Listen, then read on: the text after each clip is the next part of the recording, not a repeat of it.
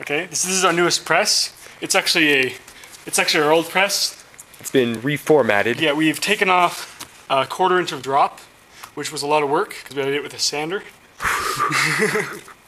Because I had to do it. It's an incline here and it's flat here. Um, and we're making a concrete press with this. And you can see here we got these the presses. We got these six inch walls on it, and we're going to fill it up with concrete. It's got cork layer that's evening everything out. See how smooth and just it's pretty sweet. Um, and so yeah, and then we put shrink wrap to seal everything off so that when we pour the cement, everything in here is going to stay dry.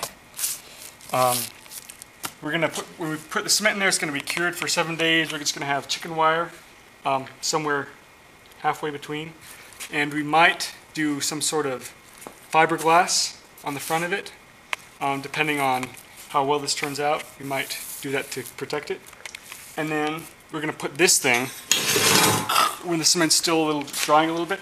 Put this thing on there so it's got a nice contact fit on the cement, and this is this is our our um, what do you call this?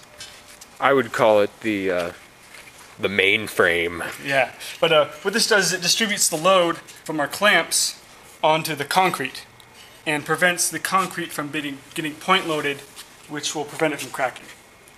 So, So it provides a rigid surface area to compress the concrete Yeah. evenly yeah. and distribute all the load against the the uh, female piece of the press. Yeah. And, uh, all right, so we're getting ready to pour the cement here, and I just finished up with this thing here. Only took a few minutes, so didn't take a lot of time on it. Um, I wasn't sure how I was going to do it, but I ended up just kind of cutting and bending and ended up with this. So, um, see, it's about an inch thick, and it's about uh, nine, eight and a half inches wide, probably.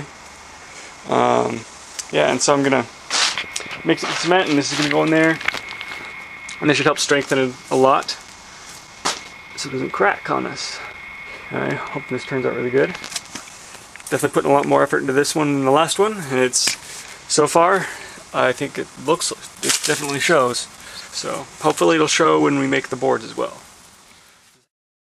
All right, here we go. It's all cemented up. Uh, it's all wet. We got this on there. I don't want it's sunken in a little bit, but just just enough where I'll have an imprint. And yeah, now it's got to wait a couple days for it to dry and cure. Sweet.